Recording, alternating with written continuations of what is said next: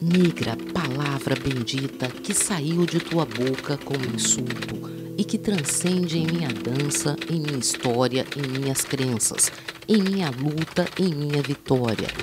Nesta semana, o Nação aborda a relação entre realidade de mulheres negras e ficção. A minha poesia, eu acho que ela não pode ser à toa.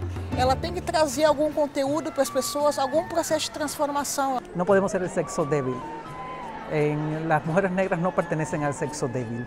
Ah, somos mujeres de generación fuerte, ¿no? de, que tenemos paso de elefante, que pasamos y, y la tierra se estremece. No puede ser de otra forma. Nação, sexta, 11 da noite.